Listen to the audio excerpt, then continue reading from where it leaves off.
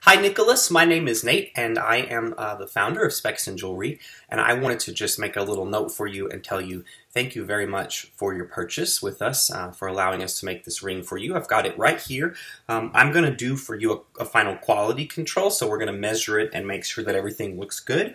Um, I have that you wanted it to be a size nine and a quarter, and that the ring should be eight millimeters wide. So I'm going to start by measuring the width of it, and we're right at 8 millimeters, that's correct. And then we need it to be a 9.25 on the mandrel, exactly on the money there.